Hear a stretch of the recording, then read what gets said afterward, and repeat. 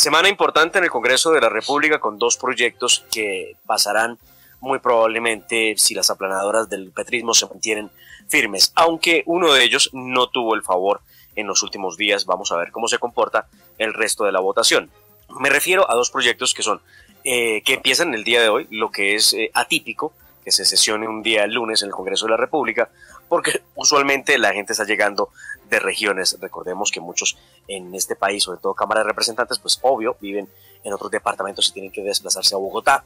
Pero a partir de hoy hay sesión en comisión primera como también en la plenaria. El primer proyecto es la ley, la prórroga que se le da a la ley 418, también conocida como ley de orden público. Y el otro proyecto es el de reforma política, que ya fue aprobado en primer debate y que continúa su discusión en la plenaria del Senado.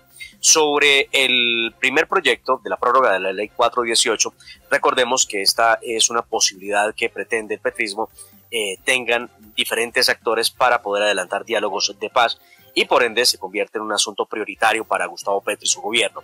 Dentro de esa norma hay asuntos que son bastante cuestionables, como por ejemplo la creación del servicio social obligatorio lo que nuestro concepto, como ya lo habremos dicho antes en este espacio, raya en la, inconstitucionalidad porque se trata de una ley ordinaria pretendiendo reformar un artículo constitucional como lo es el del servicio militar obligatorio y que ellos pretenden cambiar por servicio social obligatorio.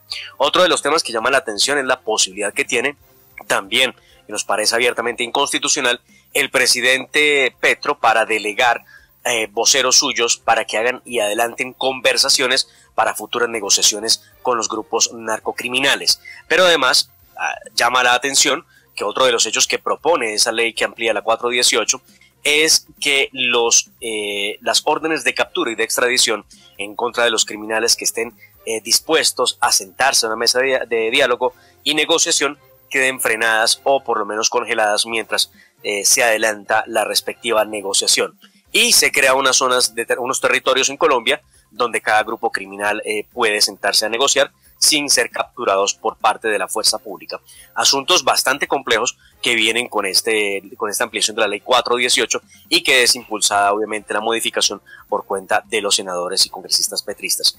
Por otra parte tenemos la reforma política donde hay temas como la lista cerrada, donde hay temas como la financiación del Estado pero también hay otros muy complejos, como lo que permite a un congresista pasar del Senado o de la Cámara de Representantes a convertirse en ministro o director de departamento en un gobierno. Asunto que no ha sido bien visto, sobre todo porque de allá venimos. Esa experiencia ya la tuvo Colombia y ahora nos quieren devolver a ellas. Otro asunto que es bastante polémico tiene que ver con las listas paritarias y lo que llaman ellos diversas, que obliga a los partidos políticos a conformar las listas a las corporaciones eh, uno a uno, hombre, mujer, hombre, mujer. Pero ya han ido más allá, doctor Fernando, y están preguntándose qué va a pasar con las personas que no se, que no se identifican ni como hombre ni como mujer. Vaya qué problema el que van a crear por cuenta de esas ideas. Lo cierto es que ambos proyectos están en el orden del día. El de reforma política, que es del que les estoy hablando en estos momentos, eh, recordemos la semana pasada no pudo terminar de ser votado porque Partido Conservador, Cambio Radical y Centro Democrático se retiraron del debate y no hubo quórum para continuar. Vamos a ver cómo arranca esta semana con ambos proyectos. Vamos a ver qué pasa en el Congreso de la